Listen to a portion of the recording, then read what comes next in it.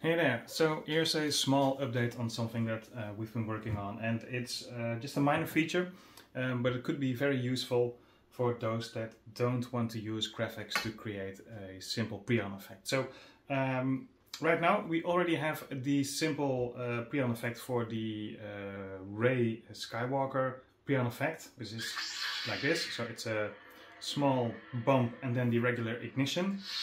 Uh, the small bump is in the uh, E-color color, so the FX color.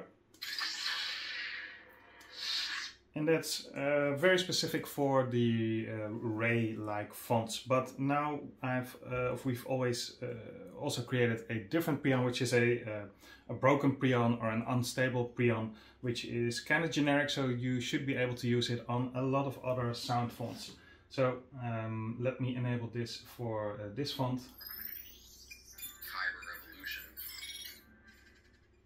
So this is uh, for Kyber Revolution.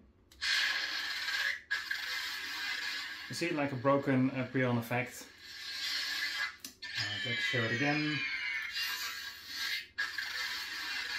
So that's pretty generic, so let's show it on some other sound fonts. So this is for uh, Predator.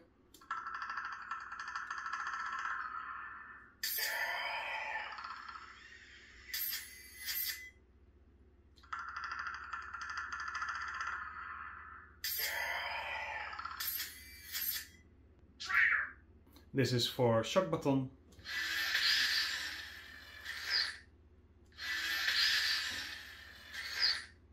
Ancient prophecies.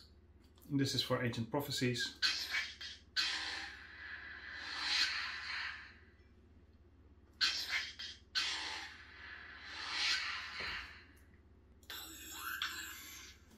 And this is for uh, awaken. So just to give you a couple of samples of different sound fonts with uh, a preon effect. And